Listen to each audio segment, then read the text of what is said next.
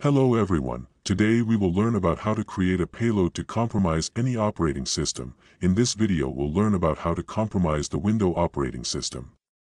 The payload will not in the exe file, but the file will be embedded in a different file format, so it will still work for you. So let's start with this, so welcome back to Dark Web Association.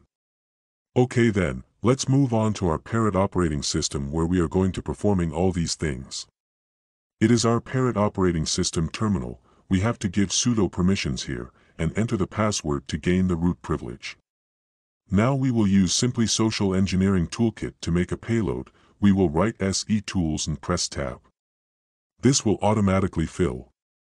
If you are using this for the first time, so it will ask you for some permissions like yes or no, you have to give it yes, then the interface you have will be shown. Now the only attack we have to do is the first social engineering attack. We will now again enter the option first, the spear phishing attack.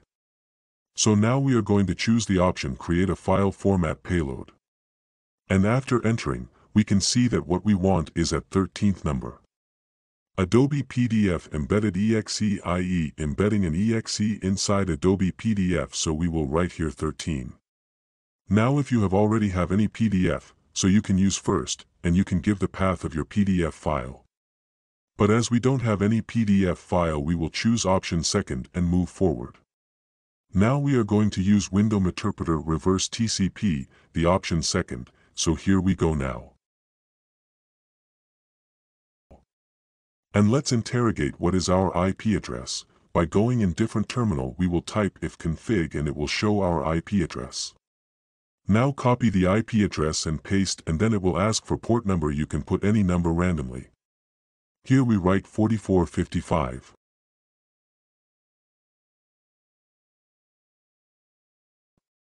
Hey, the payload is being generated right now.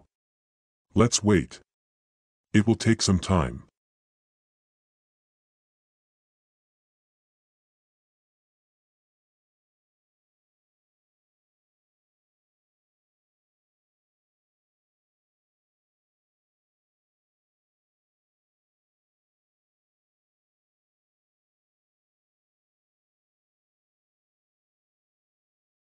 Now the payload is being generated you can change the name of the file or leave it to default.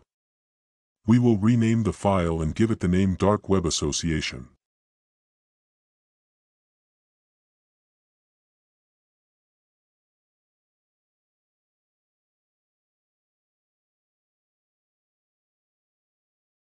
Now our payload is ready to deploy. It will be stored in the root directory and inside .set directory. Now we will type ls to see all the present file in the directory.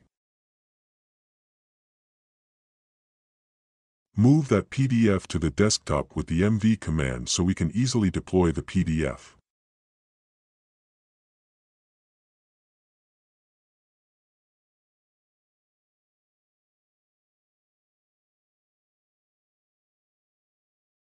Now we will check all the privileges to the file with the command ls l. And now we will run MSF console to start a event listener. MSF console is starting, please wait for some time. Now type use exploit multi-handler.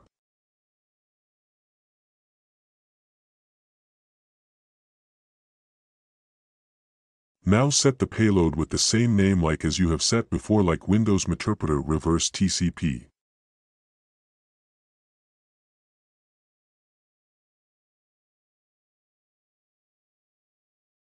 And now type show options to see all the options available. We are going to set the lowest and port as we set on the payload so we can connect back to the victim's machine.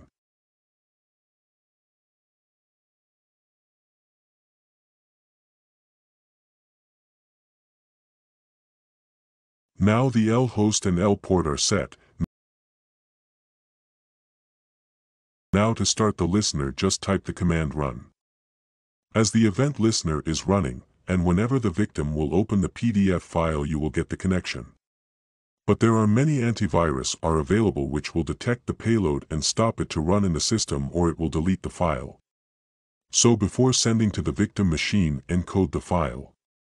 So the antivirus can't detect it or you can stop the antivirus of the victim machine so you can easily run the file in the victim machine.